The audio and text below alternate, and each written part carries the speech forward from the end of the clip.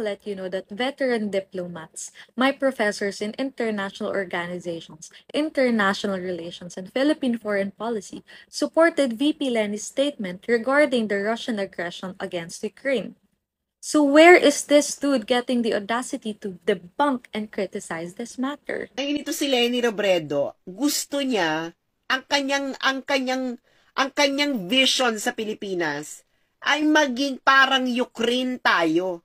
Eh kung hindi ka ba naman si Raulo, alam mo ba nang wala kang alam Lenny sa geopolitics. You should not be a the chief architect um Lenny Robredo should never be the chief for uh, architect of our foreign policy. Kung ikaw ay magiging chief architect ng foreign policy, dapat maalam ka sa geopolitics. Ito si Raul, ito si Lenny. Ano, ano ba naman to? Gusto niya maging Ukraine yung Pilipinas? Ano? Eh, kuy, ano? Ano talaga? Gusto mo talaga talaga tayo mapahamak? Di ba? So, tigilan nyo yan. Ito talaga yung sagot dito ni Lenny. This solidify na she doesn't know anything. She doesn't know anything. Pag presidente ka, ang unang-una mong pag-aaralan ay foreign policy. Do you know why? Kasi ikaw ang chief architect niyan. Ikaw ang strategy, ikaw ang chief strategist ng foreign policy. You cannot delegate. You cannot delegate that na sabi mo, ikaw na mag-strategize ng foreign policy ng Pilipinas. You cannot delegate, you cannot do that. Ikaw ang chief eh. ba? Parang ano rin 'yan, yung commander-in-chief ng defense. Yan ang yan ang yan ang, yan ang ano, ang katumbas niya. Ikaw ang commander-in-chief ng defense. Hindi mo pwedeng i-delegate, i-delegate yung pagiging commander-in-chief mo ng defense. Kasi ik- ikaw ang pinaka-highest civilian authority. So, y- di ba, that, di ba, yun ang ano, supremacy of civilian authority over the military. Ikaw ang highest civilian authority. Bakit binidelegate? Ikaw, ikaw yung binigyan ng power niya ng Supreme Court. And it, it, it is the same with, with foreign policy. Okay? Hindi ka po pwedeng maging chief architect ng foreign policy kung boba ka sa geopolitics. No. So, Lenny Robredo, no. Tigilan mo na yan, ma'am, mamshi. Lord Almighty.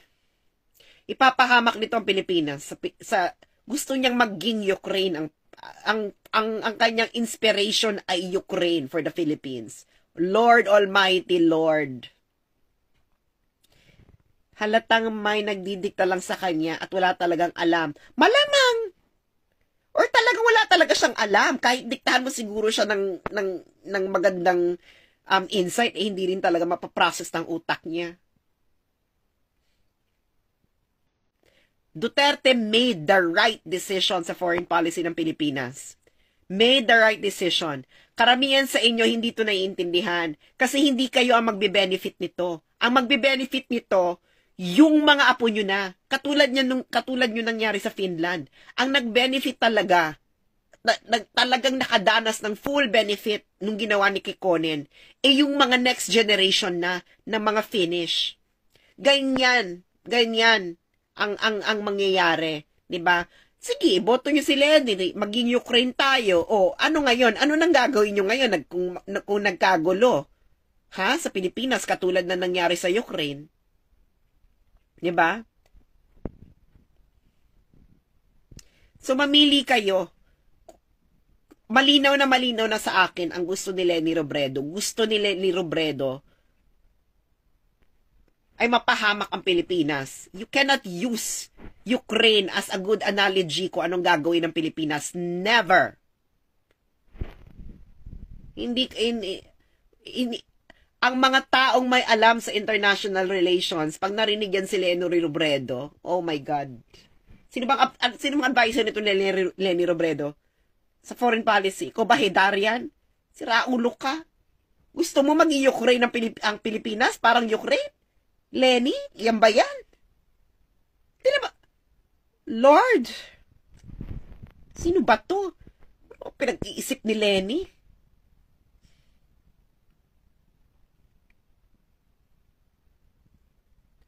Walang gusto si Madam. She's a uh, sock puppet. Correct. So guys, yun lang ha. Lenny Robredo wants the Philippines to be like Ukraine. No. No. Say no. For the sake of your apo, hindi hindi kayong mag we your kasi ang foreign policy kasi matagal lang effect nito eh. Okay? So yung marami sa inyo nagalit kay Duterte sa ginagawa niya, magpasalamat kayo ginagawa ni Duterte. Dahil yung mga apo kaapu-apuhan ninyo, pag pinagpatuloy itong foreign policy ni Duterte, ay mawaw ay hindi mamamatay sa isang gera na hindi tayo dapat kasama. Naloloka ako sa sinabi ni Lenny Robredo sa Bakit Ikaw, DCRH yun, di ba?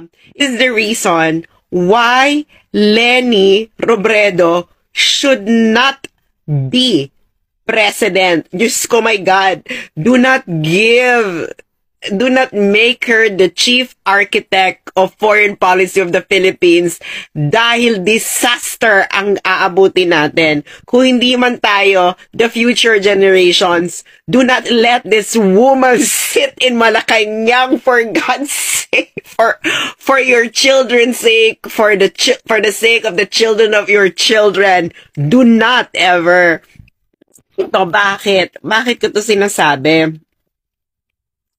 ito, tinanong kasi siya about, um, an, of course, the, the, the, um, the South China Sea conflict, ganyan.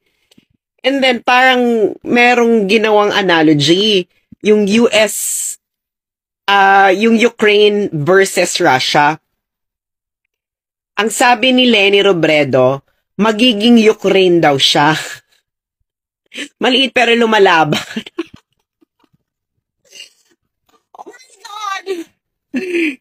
Oh my God! This woman! Oh Lord!